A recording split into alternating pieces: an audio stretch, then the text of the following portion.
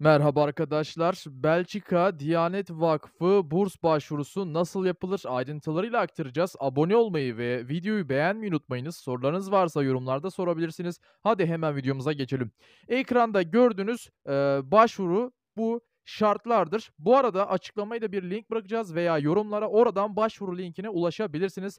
Bu ekranda gördüğünüz Belçika Diyanet Vakfı burs başvurusudur. Onu söyleyelim. 28 Ekim'e kadar başvurabilirsiniz. Bu da başvuru takvimi. Yani 10 Ekim'de başvurular başladı. 28 Ekim 2022'ye kadar devam edecek ve 28 Ekim ile 7 Kasım arasında bir değerlendirme yapılacak.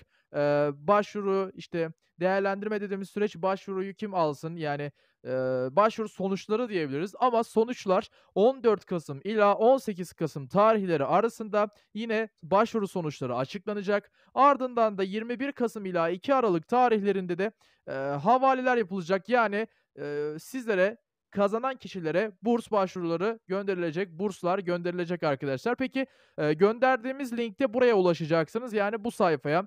Burada adınızı, soyadınızı, e-postanızı, cep telefonunuzu, TC kimlik numaranızı, doğum tarihinizi, doğum yerinizi, anne adınızı, e, anneniz çalışıyorsa kaç TL kazandığını aylık olarak, baba çalışıyorsa aylık kaç TL kazandığını, şehit yakını mısınız, gazi yakını mısınız bunların ayrıntılarını, e, İmam Hatip mezunu musun, hafızlık belgen var mı bunların hepsini okuduğunu üniversiteyi, fakülteyi vesaire buraya yazacaksın. Ondan sonra da e, öğrenci belgeni, fotoğrafını çekip oraya göndereceksin. Yani yüklemek zorunda olan belgeler bunlar.